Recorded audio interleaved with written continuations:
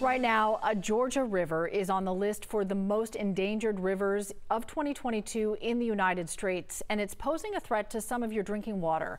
We're talking about the Coosa River. The conservation group American Rivers ranks it fifth for most endangered. The report says waste and pollution from massive industrial poultry farms is choking the river.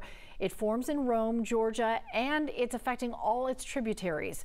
The Coosa River is among the most biodiverse in the southeast. The Colorado River is ranked number one on that list.